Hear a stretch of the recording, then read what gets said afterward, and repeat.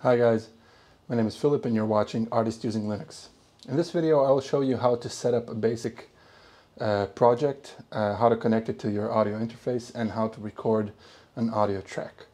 I'm using Ubuntu Linux and um, I'm connecting it to a Behringer uh, Euphoria 404 HD which is uh, connected by audio jacks to a Roland JD-Xi synthesizer. So let's get to it when we open up Bitwig, um, this uh, screen shows up and we can um, first go to settings and to audio and use driver model ALSA. That is the standard one uh, I'm using and that's the standard uh, audio driver for uh, Ubuntu Linux. Uh, then we have jack and pulse audio, but today we're not going to go into this. Jack is basically a more advanced um, way of connecting your audio uh, interface to the uh, to the software, but for now we're going to use ALSA. And since I'm using the Behringer um, Euphoria, I'm going to select it here. Here we can choose the sample rate. Uh, most of the people today are using 48,000 uh, 48,000 hertz. Uh, I'm using 44.1 uh, kilohertz uh, because just that's the way I like it. I don't know. Um, next, uh, my audio interface has four channels and I group them into two pairs, into two stereo pairs. Uh, if you want, uh, you could add like four mono uh, pairs or or you can add two mono and one stereo or whatever. So you can choose. It's important to add at least one channel that you're going to be using or you're going to, going to be recording.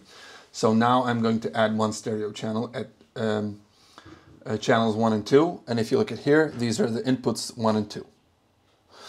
Um, output buses uh, could, can be complicated if you like. You could add various different things here but we will add only one set of speakers. My audio interface has four outputs, so you could add like a headphones output or change it to something else, but for now we're gonna leave it as is.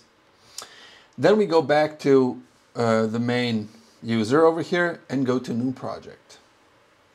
This will open up this interface. Over here, I like to turn off this uh, scene panel, just press, press here, you can change it here. And we are going to arm our audio track. To add next an, another audio track, you can select the right button and then go to add audio track. But we're going to leave it as is and just hit record over here to arm the track for recording. Here we are going to select our input and we're going to set stereo in. That's the one I uh, used before. And when I press play on my synthesizer now, there's audio input coming in.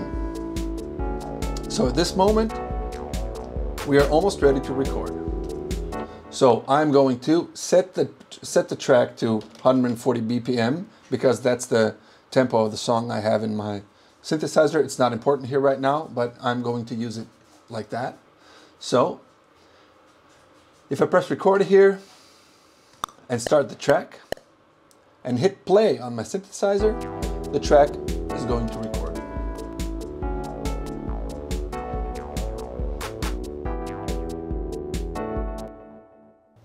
Thank you for watching.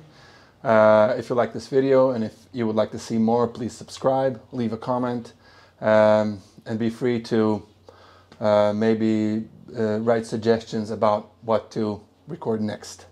See you next time.